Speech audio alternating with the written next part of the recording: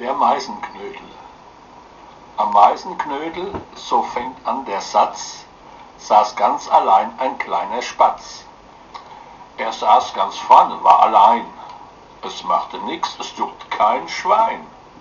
Doch als die anderen Spatzen klagten und sich zu dem Spätzchen wagten, war groß der Streit um das Gezeder, eine halbe Stunde und noch viel später.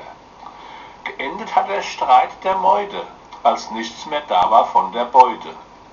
Nun sitzen sie ganz friedlich da, als ob nichts geschehen war. So sah ich's heut am Meisenknödel. War lustig, amüsant zugleich, war vegetarisch ohne Fleisch. Habe Schuld, 27.01.2016. Dankeschön.